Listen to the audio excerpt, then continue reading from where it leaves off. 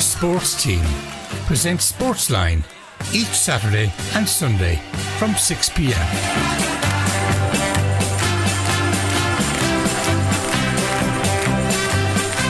Wherever you are, we're here.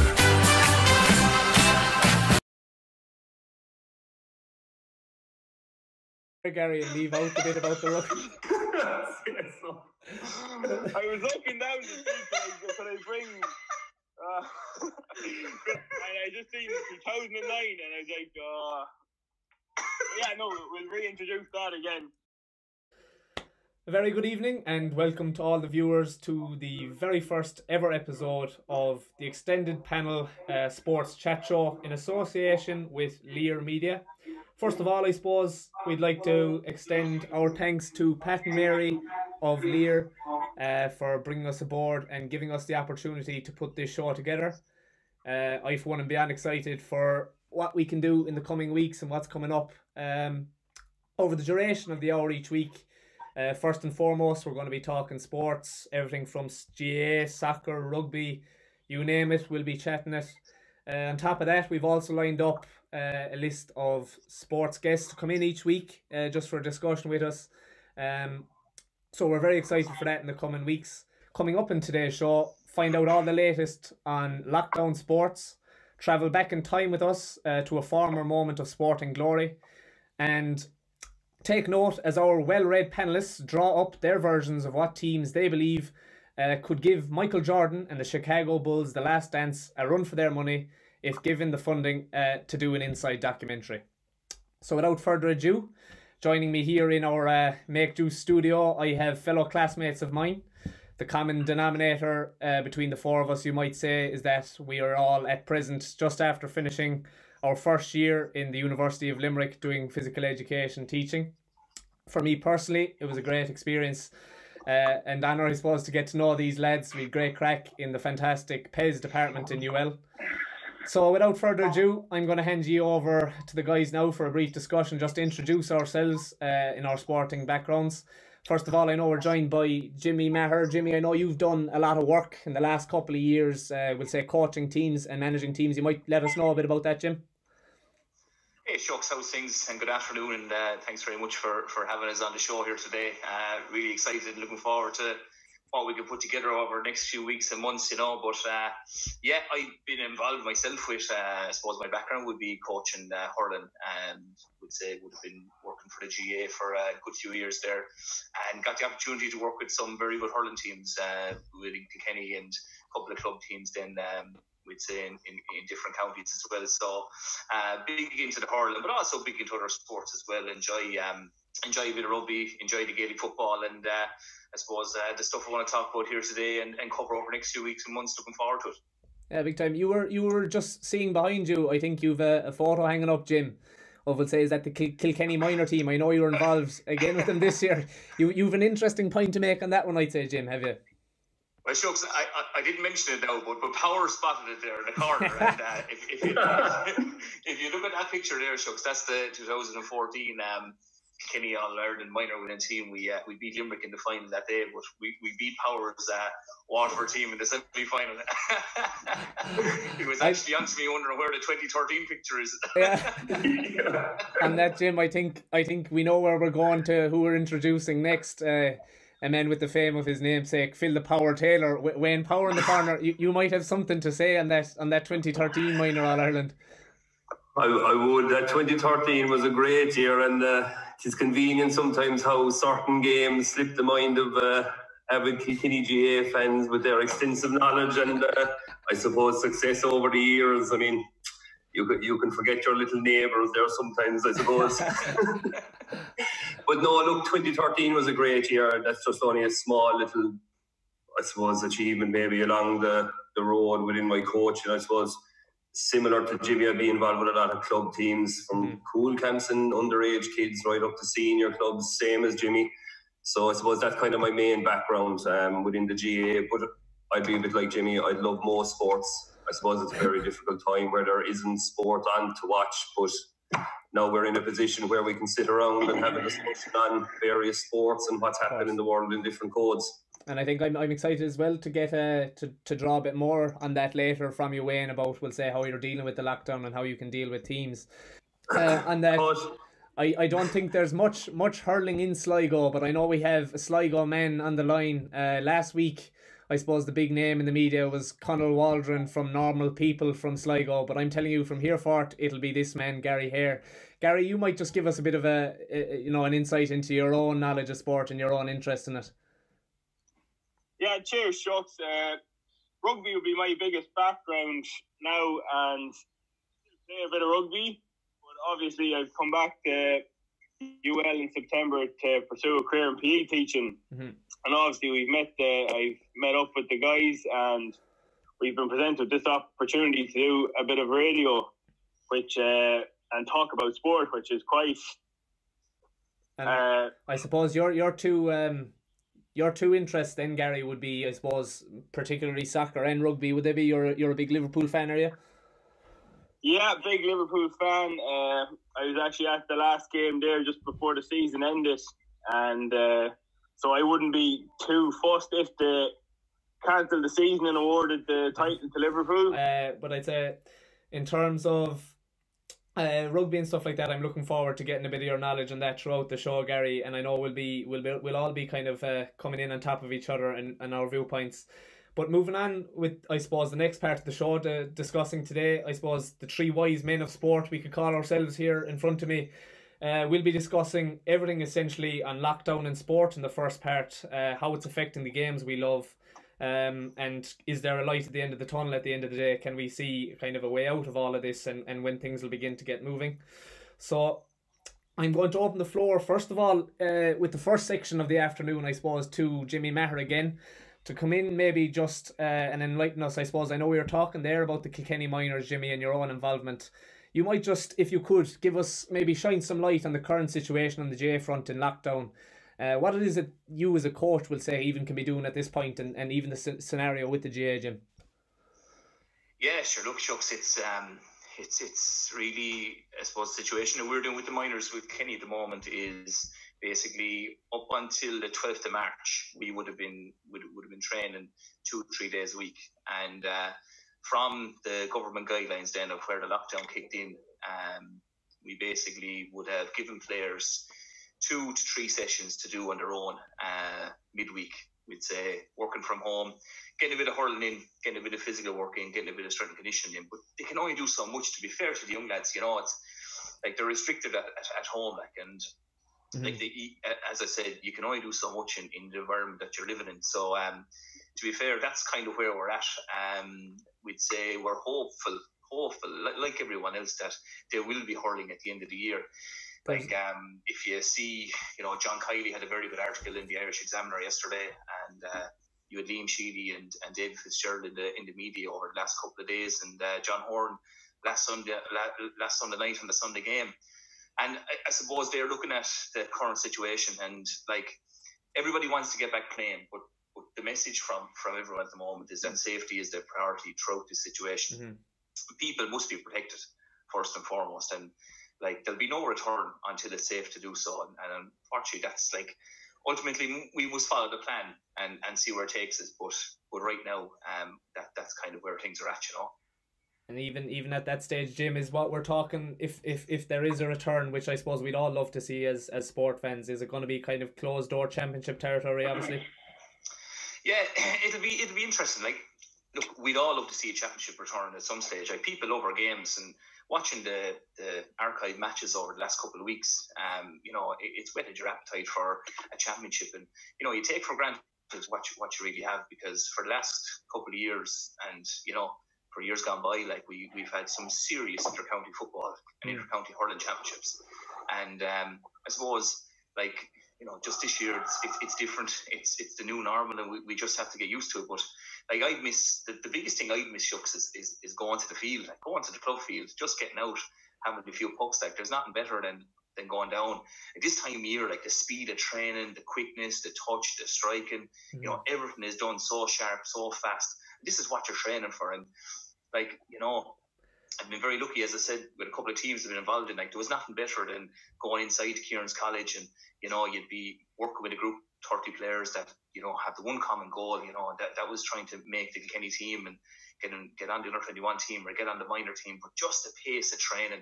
And at this time of year, that, that's what it's all about. You know, all that winter training you do is for playing championship in the middle of the summer. And there's nothing better than the it's ball peak, peak GAA season, really. Peak, peak GAA season is what people are, and I think that's a big thing amongst, we'll say, GAA fans at the minute. And I know a lot of GAA fans are feeling let down that maybe the pitches are still closed, you know, that people should be allowed go in and have their few pucks with friends.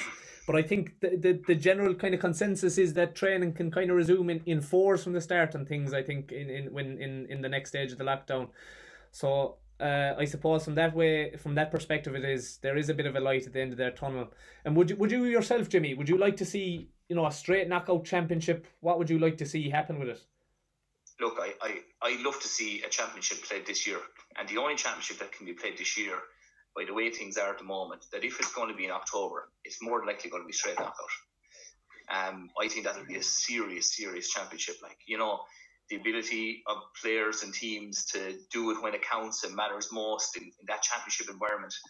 Oh, to be nothing better than that, you know. Even without a, a, crowd environment, I suppose that fact that it is knockout as well will give the players that bit of a buzz and incentive.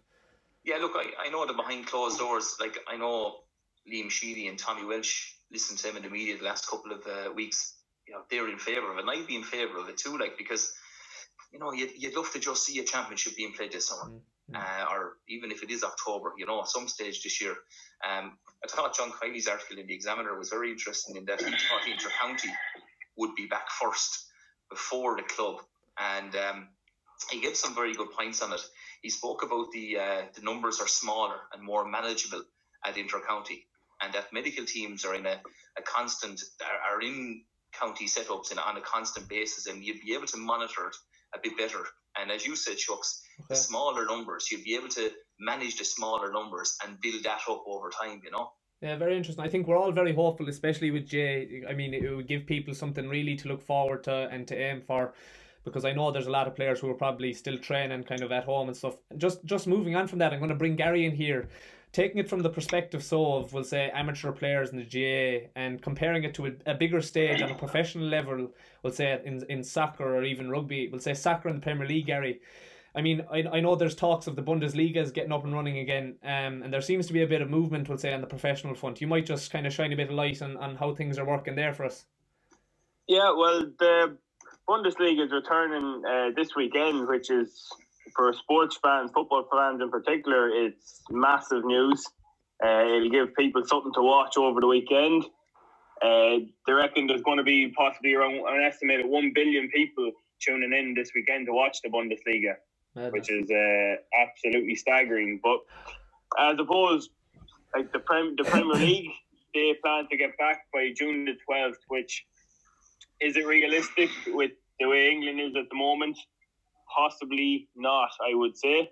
Mm-hmm. Like you have players like Troy Deeney, uh, the Watford captain. You have Danny Rose, Newcastle's defender, and Todd Cantwell, all against coming back. Like when you have professional players coming out to the media saying that they're not comfortable going back, it's going to cause a lot of problems within clubs, mm-hmm. within within the FA, within the PFA. So there seems There's a lot of issues to be resolved, I suppose, before things get back and actually on the pitch playing in England anyway. Mm. There seems to be a lot of kind of a split decision about how do you think again, Gary, you know, these teams returning, we'll say, in the Premier League, and I know it's, you know, teams in Spain are back are back training. There's been a bit of controversy around it. How do they monitor it? How do you go back into a training from going from, you know, nothing in a big pandemic like this? Uh, I think uh, Wolves captain Conor Coady during the week done a very good interview on how they're like that Wolves team are already back training. They're back at the training ground and they're in groups of four, where they they have an hour slot. The coaches will be there for the day. They'll monitor the sessions, and yeah. they're not even allowed in to the changing rooms. They're not allowed shower in the grounds. Uh, they're not even allowed to take equipment. They have to bring their own balls. They have to bring their own cones. So it's obviously a very challenging time for the players. Right. But in saying that, it's the safest thing to do. And I think um, Jamie Carragher also had his view on it that these professional footballers aren't going back into frontline work. Like they're not going to be in hospitals. These are going to be in probably the safest environments where they're tested twice a week. if not more, Yeah. in order to play. So I'm just like there is to bring to bring you in on that one there, Gary, about, about being tested. I saw during the week, uh, we'll say where the in the in the Irish, we'll say regards the Irish league and the FAI getting back playing, we'll say in the the, the league here in Ireland. I saw that eighty eight percent of players were in favour of being tested weekly if it meant that they could go back training and playing uh, in, in, in the in the league here. So Yeah, I think uh, I think the League of Ireland, especially, I think it relies massively on gate money to further clubs, and obviously Sligo Rovers being uh, very close to home, they've they've let all their players go for the minute. But yeah, like gate money for them is a huge like financial huge. probably a, it's essential really You might say that that's the driving force behind it all. Would say is would say the finances and big clubs and TV money and stuff. Have you you, you might have a bit to come in on that one.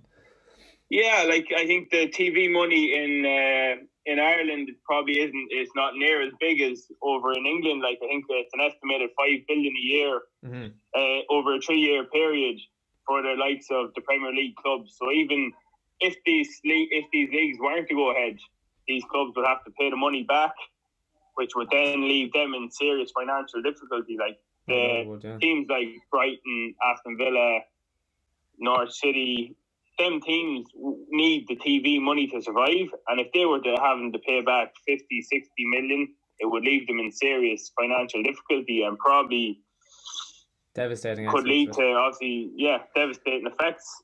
But you see, I'd say with, with, with a lot of these big kind of uh, clubs and stuff, it's it's kind of actually interesting, I think, to make a comparison between even we'll say at this professional level, everybody's in the same boat, and that nobody can be doing much at the minute. Everybody's kind of you know operating from we'll say Zoom calls. I saw Ben Foster there, you know, trying to Watford by you know what bike sessions with his teammates and stuff. It's pretty much kind of what the GAA players are doing here. So you have elite elite athletes and even club athletes, we'll say here in Ireland, playing at club levels everybody seems to be on the same page. There, I might bring Wayne in on just while we have a while while we have the chances. Just it's a double edged sword in that there's also the fact that players are at home, you know, kind of locked up. They're they're going to be itching to get back, itching to get back training. Even just weighing yourself as as a perspective of a, a coach and somebody who's will say highly trained in, in dealing with will say young lads in training and and monitoring teams. How how do you go about monitoring these lads? Will say mental health and their well being.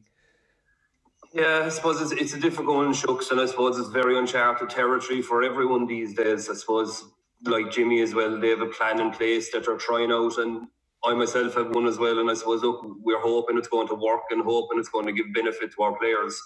I suppose everybody with sport, look, everybody gets a bit of enjoyment, be it through participation or just entertainment alone. Um, I suppose myself this year I've been involved with a couple of teams. Um, if I just give you an example, I was with the UL Freshers team, and I suppose they did a, did very well and managed to get to the final. Only for the final to be cancelled on the day of the lockdown in universities. Uh-huh.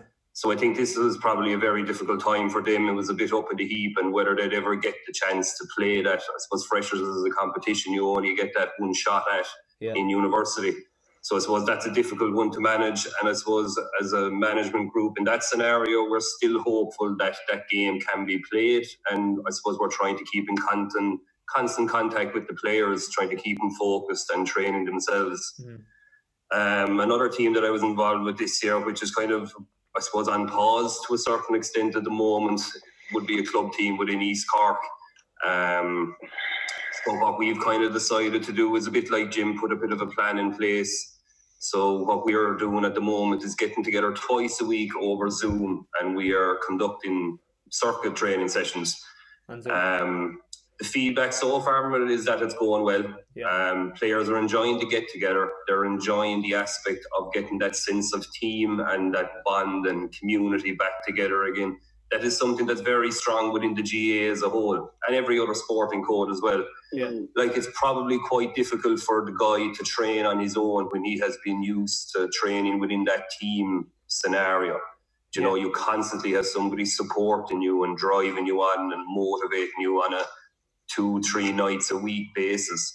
And now that's gone. It's it's quite difficult to live with. So we find that the Zoom sessions are kind of working And just to our benefit at the moment. and things like that when you know i suppose another thing you're seeing is we'll say teams like this you know taking a break now that they have their break from sport to do a bit we'll say charity work they're using their sports to you know raise money for charities, which is great to see. I know I saw during the week the Limerick senior hurlers and under 20 hurlers are doing a kind of a hit the wall challenge for Milford Hospice Care. There's all sorts of kind of things popping up.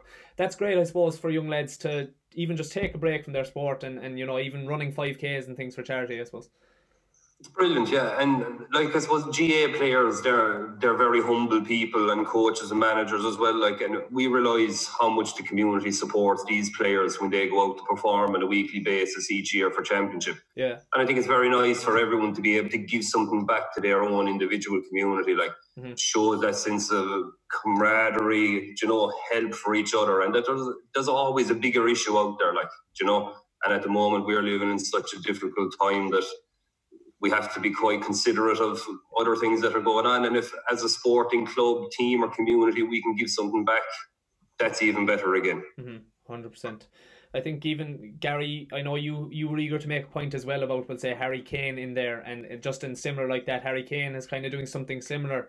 Um, yeah, Harry Harry Kane is uh, sponsoring Leyton Orient's home and away kit for next year. Yeah, uh, raising awareness for the frontline workers, which is a unbelievable gesture. And even the likes of the Premier League captains have set up funds for frontline workers too. Like so, there has been a lot of good gestures coming out of probably an overall bad situation. And the Premier League players, I know some of them have gotten a lot of stick for not taking wage cuts. If we look at some of the Arsenal players, but essentially, like they are raising funds, they are they are giving it giving it their best shot. Yeah. You know, as a for like the situation they're in, like it's it's not easy for any anybody. There does seem to be, be that, amateurs, professionals. Yeah. It's there seems to be that general feeling there though that you know people are beginning to come to that stage now where they're really beginning to you know get the bug to get back playing and the boat to get back training on, on, a, on a kind of a wide phrase. I'll just let you have the final word there again, Wayne, on why you think we'll say that's you know so important for young lads now that they,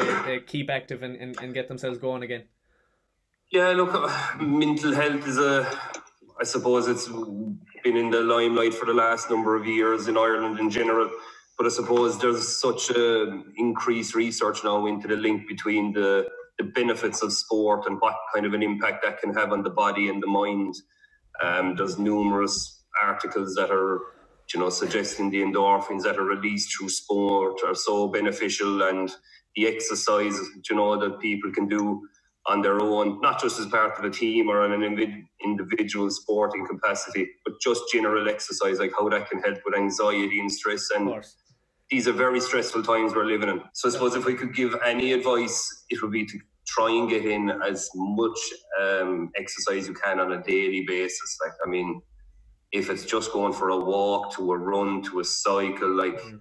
all these things can have such a positive impact on every individual. You know, that's a lovely point to finish on. I think as well is just you know for people to keep keep on top of it because you know we're the the end is nigh as they say. We're beginning to uh, kind of move again, and I suppose I think we're all looking forward really to getting the show on the road again and seeing our sports that we love take off. So fingers crossed things will go that way. Uh, I think I'm going to draw the line under it there, uh, bring the first part of the show to a conclusion.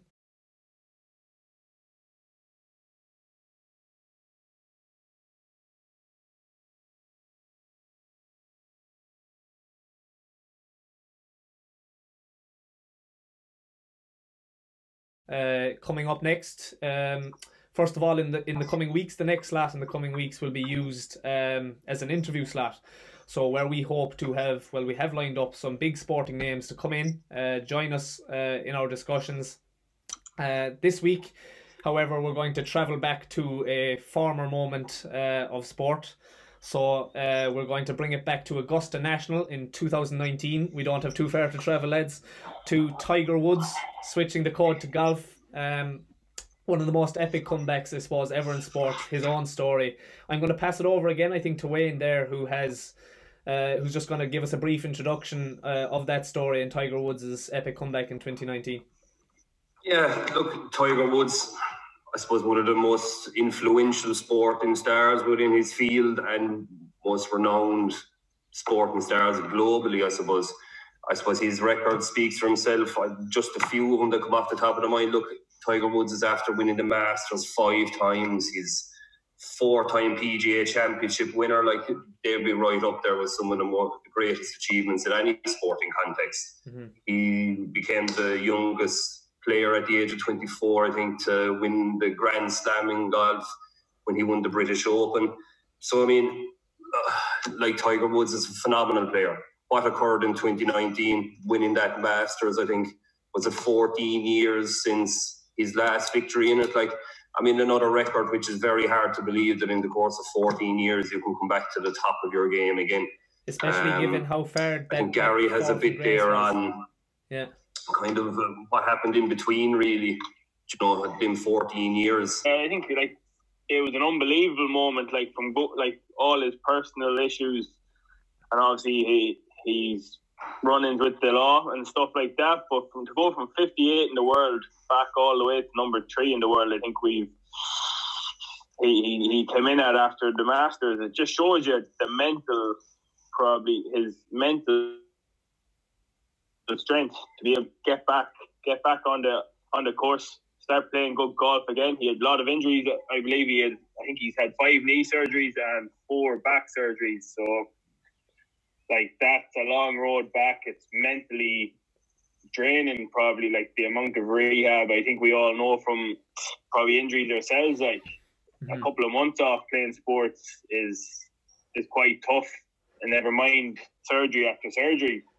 So what he done, what he done in Augusta in 2019 was probably, in my view, important comeback of all times. Just with everything that went on in his own life, and to be able to fo- refocus, take a, I think he took a year off, and came back in and I won the Masters. given given given we'll say a spell you were going on there about the kind of the effect injuries can have on players how often do we see a player who has so much potential their career being tarnished because of injuries but I think it just shows the true mind of, we'll say, a competitor or uh, the mindset of a competitor like Woods that he is the best in the business to be able to come from that. I might tie in Jimmy there, even if you just wanted to speak on that for a bit.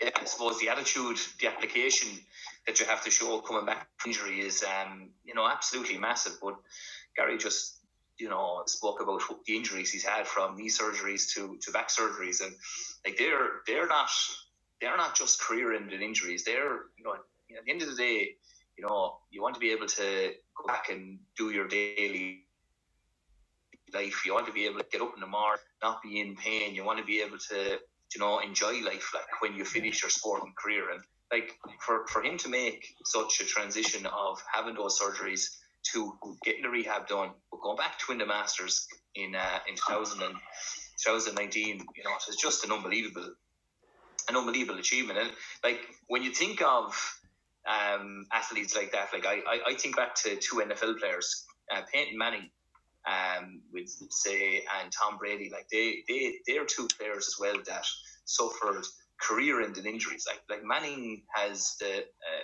had a serious neck injury. His uh, bones fused in the neck, like, and he went back to win the Super Bowl the Broncos before he finished up. And uh, I know in 2009, uh, Brady had um, tore the ACL and the MCL. You know, two serious injuries there. But again, the the resolve and the resilience they show to get back and, and, and to play at the highest level to go on and win Super Bowls. And you know, Woods is just um just an amazing athlete, and you know anyone that's at the top of their game, you know, they're there for a reason, and it's down to the attitude and application and the work they put in. I think, I suppose, given his story and given, we'll say, how many injuries and how much suffering he put into it, I suppose um, that accounts for the outburst of emotion we saw when, when Woods did win. You know, you saw a very emotional picture there of him celebrating with his kids and, you know, roaring. Very unlike Tiger Woods, the Tiger Woods of old, who was very serious and shows very little emotion. I think what you were seeing there is, we'll say, all the emotion and, and, and suffering he had pent up kind of coming out in one big burst. Absolutely, yeah, absolutely. You know, and uh, I suppose it's that, you know, it's it's it's that thirty seconds, shucks, that you train for after you win a game, after you win a championship, after you win an All Ireland, after he wins the Open, Yeah. after he wins the Masters. It's Yeah. that thirty seconds of elation. You bottle that feeling, geez, you'd be a millionaire. Like you know, Mm. it's it's it's so hard to earn that. So hard. You might want to come in on that one, Wayne. Yeah, like uh, I suppose the other comparison, and you'd have to kind of look at it as like uh, golf is an individual sport. Like I think the four of us are familiar with that team sport, and like like somebody can have an off day. But Jimmy is right. Like I mean, when you're at the top of the game, like and you're out in that golf course, like and if you're coming down the back nine and there's only one or two shots in it, like and you're on your own, like it's how strong mentally are you for that moment, isn't it? And Mhm. You know, being able to finish it and put it away, like as it, it must be one of the greatest feelings as a golfer.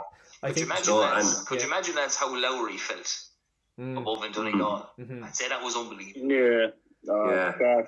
One of the I all I think the, the, the big thing I, I find remarkable about Tiger Woods is he's done it over 20 years. He's he's been there, like he has been in golf for a long period of time. Like he has been the man, and he's like, and then to obviously fall away and to have that resolve to come back is, I'd hmm. say, It's there isn't many people, there isn't many individual sports that could could possibly do what he done. Like So I suppose the true mark I of a don't how you feel about that. Yeah, the true And there mark. was a lot of controversy too, Gar, wasn't there? Like, I mean, do you know, Well, a it lot of- wasn't a all about the people say- like. Yeah, a lot of people like wrote him off, said he's finished, like yeah, because of his injuries and the severity of them. I think he was pretty so, much like, written off. Absolutely, like he, he was written off. Like he had so many distractions. You know, he was, you know, as you said there, Wayne. Like, he, like golf is a is is is a one man show. Like, you know what I mean? You have to get yourself ready. You know, you can't have distractions. You can't have things playing on your mind. And like for him to come back from the injuries, from him to come back from the things that he had going on in his personal life, absolutely massive achievement. Yeah. um, just going to come in on that one there myself. I think uh, we'll say about the mental the mental side of golf. I remember even I remember watching a reporter one time, you know, being asked, "Will will we ever see Tiger Woods back the way he was?" And you know, it was a laughing stock at the time. You know, anybody in the knowledge was going, "You will not see the Tiger Woods of old back." Mark my words, he's not going to win another major. He's finished.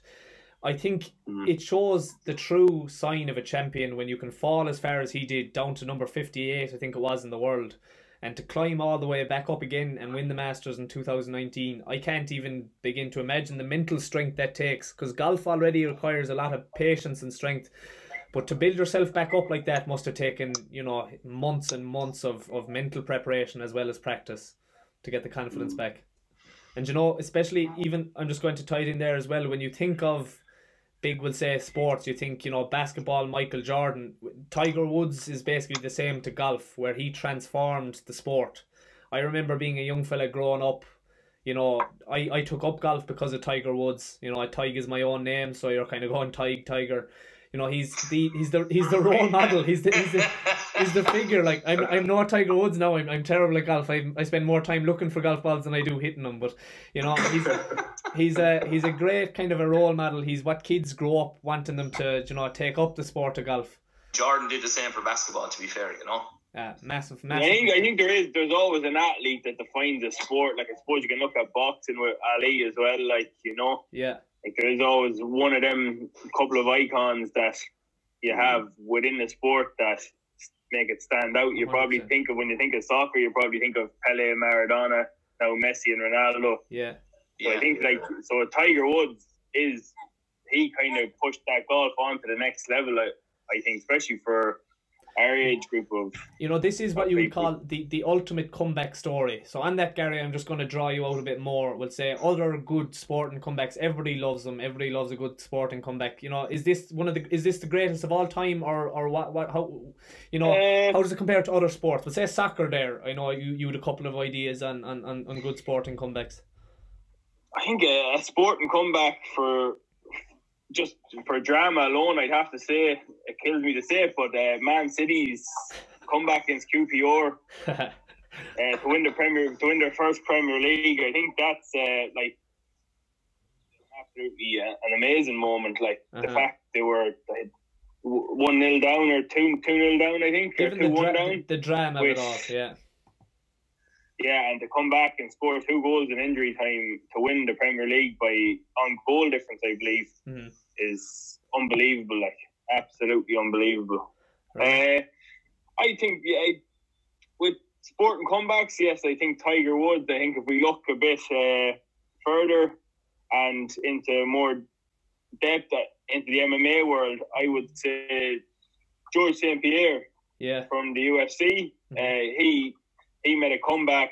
He retired, made a comeback two, three years after after being out. Uh, came back, won two division world championship, and retired again. And he's now in the Hall of Fame this year. So mm. that was a pretty unbelievable, like the, kind of a sport comeback. Quick, yeah, to hang up your hang up his gloves and make a comeback and his first fight to win another world title, like that's uh, remarkable, remarkable. There's, yeah. some, yeah, there's some unbelievable. These, these, are the kind of uh, moments. comebacks. These, these are the kind of moments, I suppose, lads, that we can only reflect on now while we're waiting for for things to kick off again and sport to resume. Uh, I've no doubt that we'll say Tiger Woods and his comeback is is one of the best, uh, if not the best, we'll say sporting moments of all time. Um, I'm going to move things on, lads. Uh, so fear not to our viewers if you've enjoyed this particular recap and look back. We have much more to come in the next section. I can assure you. Uh, after the break coming up, or in the next part of the, or the final part of our show, we're going to release our inner Steven Spielbergs and share our thoughts on teams from the past. So stay with us, and thanks for joining us this far.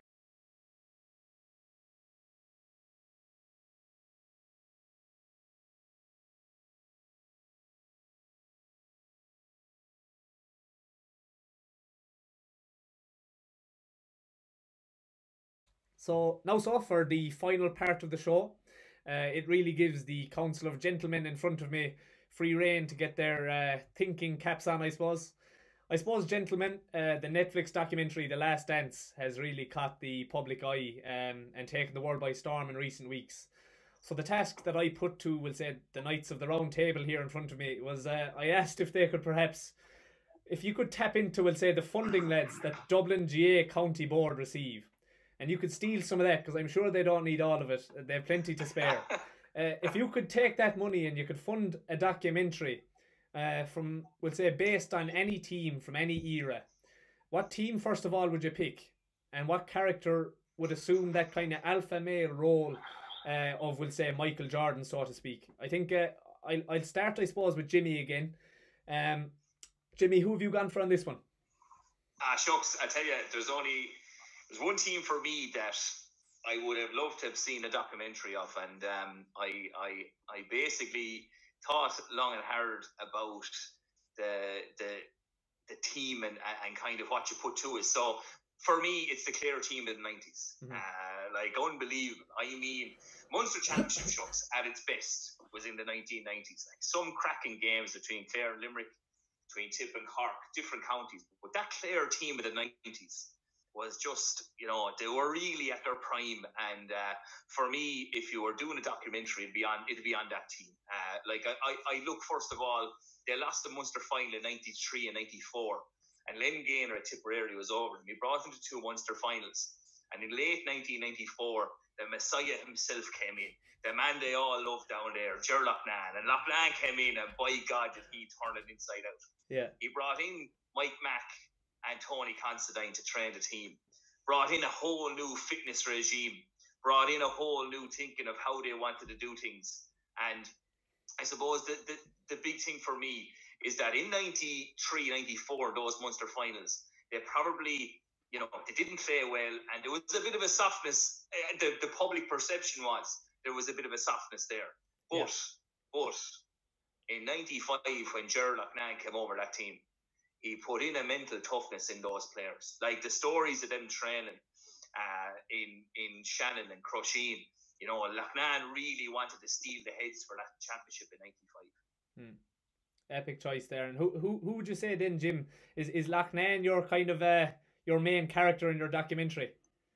Uh, Loughnane would be the Phil Jackson, yeah, he'd yeah. be the main character, and and I, would have to go, I'd have to go with uh, with along with um probably look to the likes of uh, Anthony Daly. You know, they, if you look at a Clare team that time, full of characters. Like mm. Davy Fitzgerald, Brian Lohan, Sean McMahon, Anthony Daly, Ollie Baker, James O'Connor, yeah. PJ O'Connell.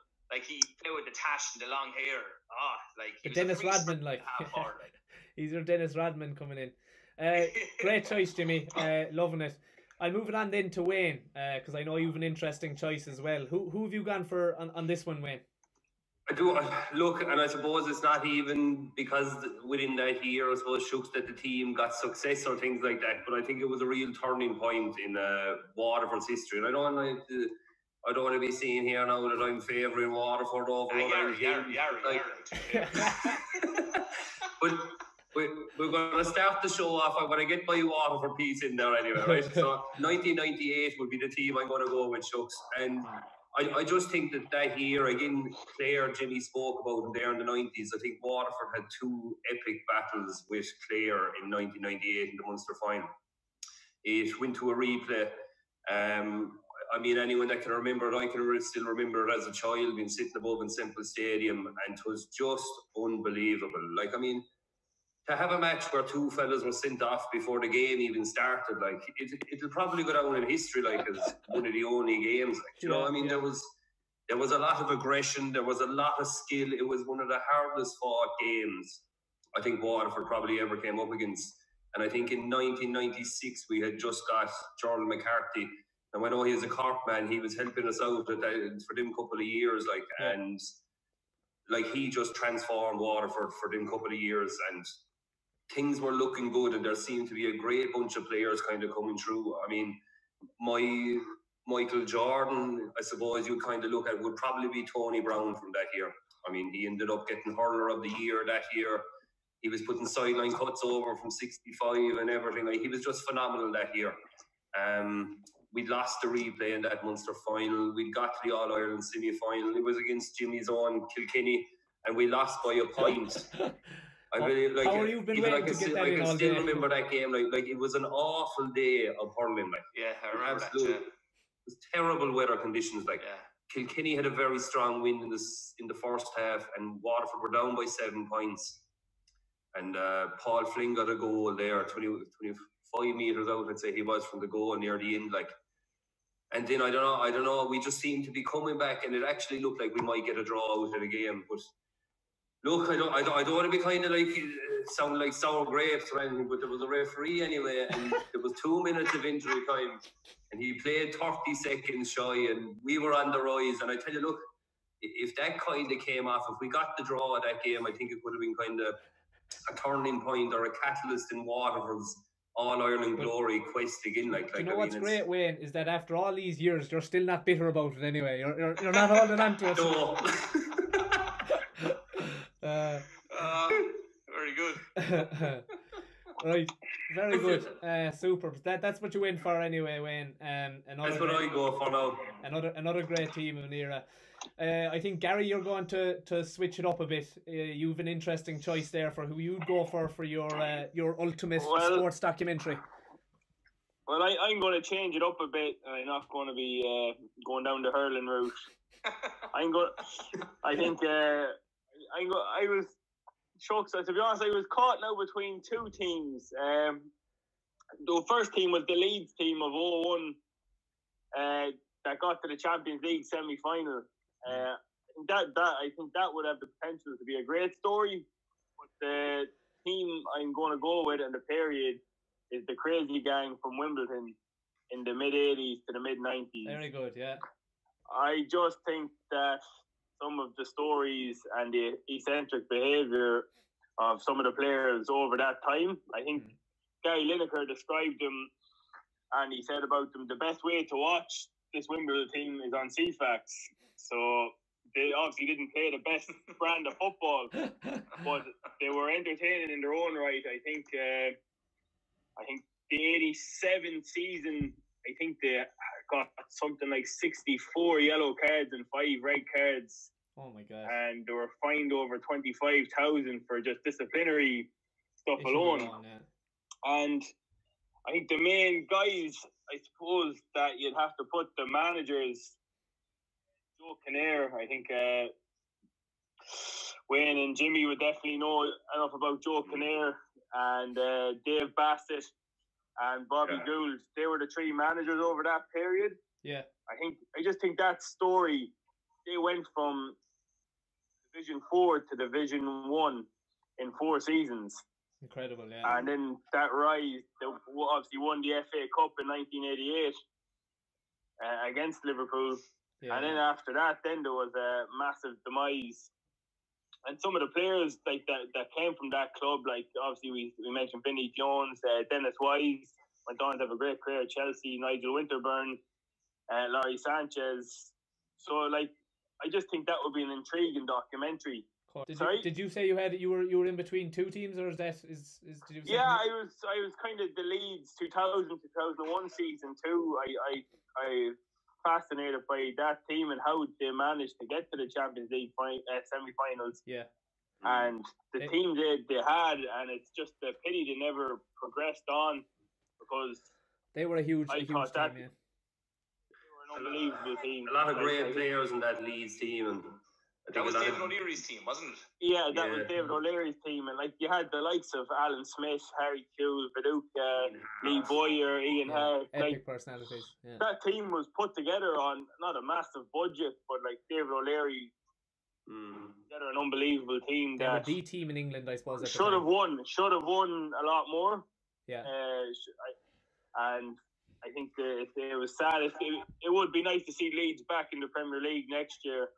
Uh, Yeah, hopefully, now if, if these games get played, but like the demise after Leeds too, like going down to League One uh, for such a big club.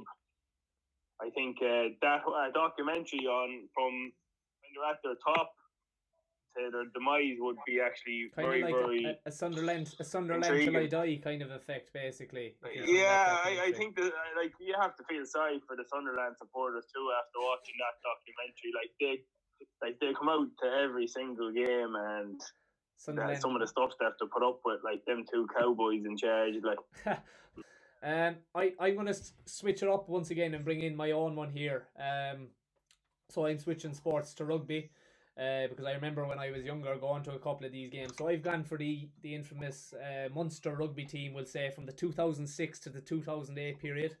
So they won the first Heineken Cup, uh, we'll say in 2006, and the second one then was in 2008.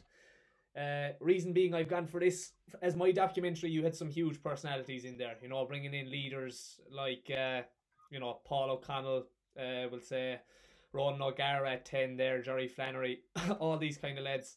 Even just you had, you know, we'll say players in from like New Zealand and stuff who were great characters. They had a great look about them.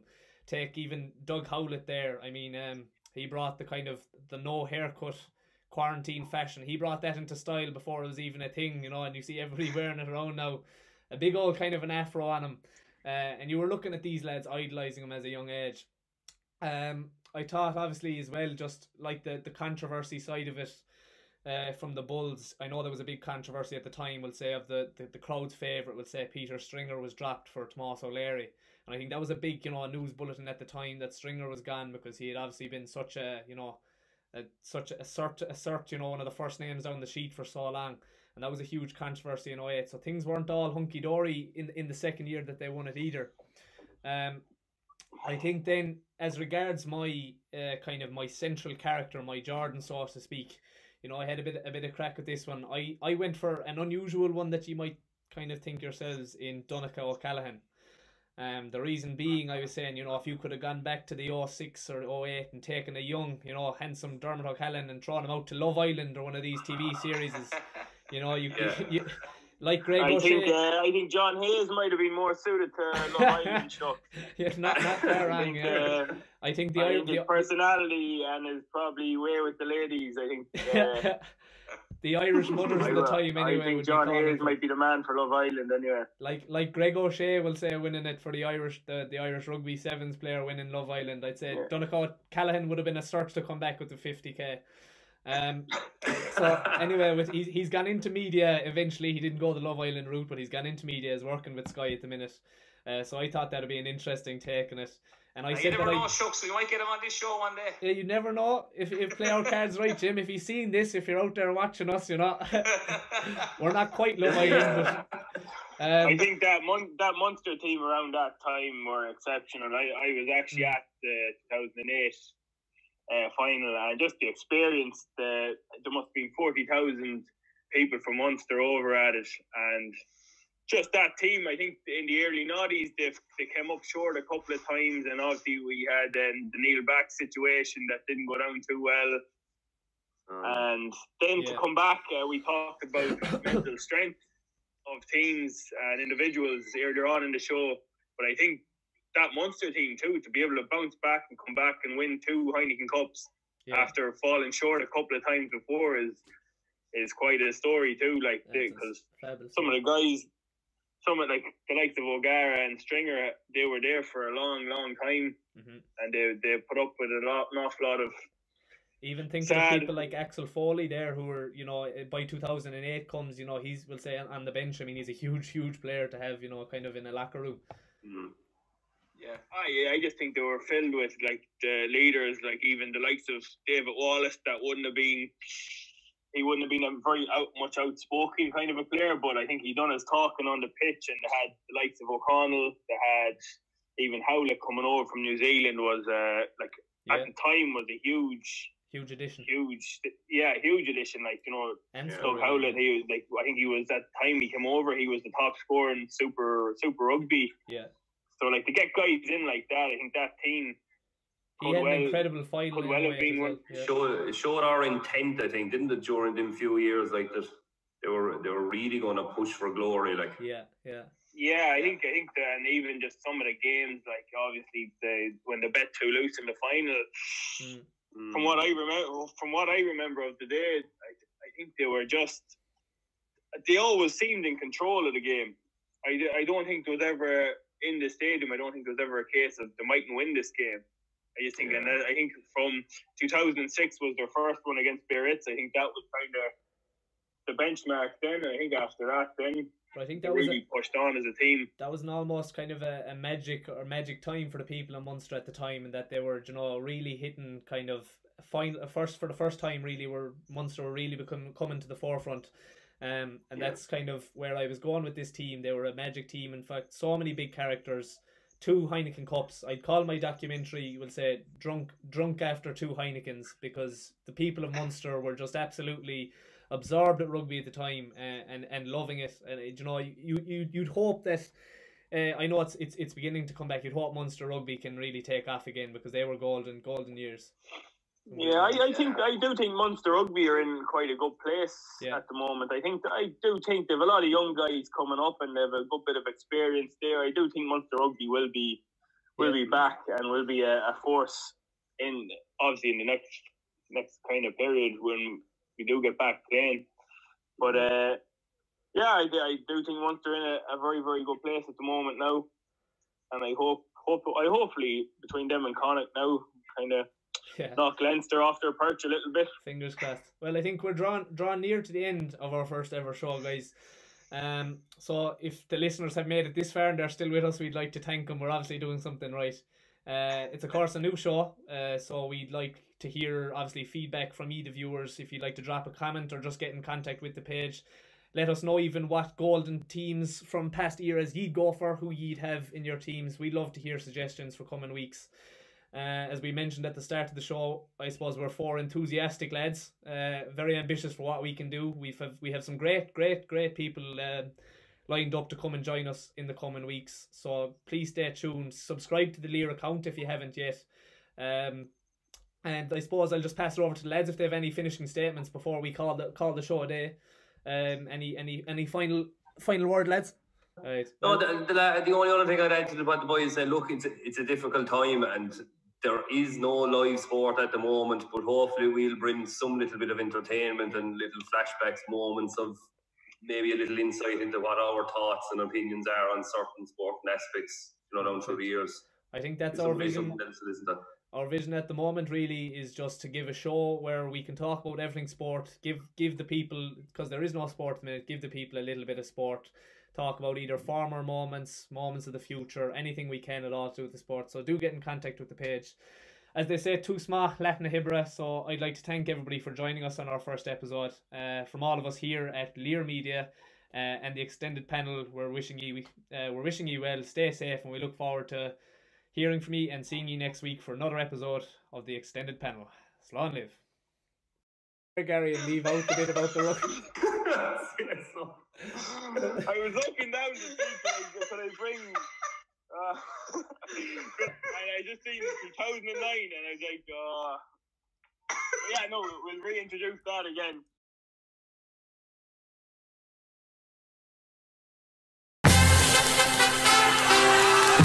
The Lear Sports Team presents Sportsline each Saturday and Sunday from 6 pm.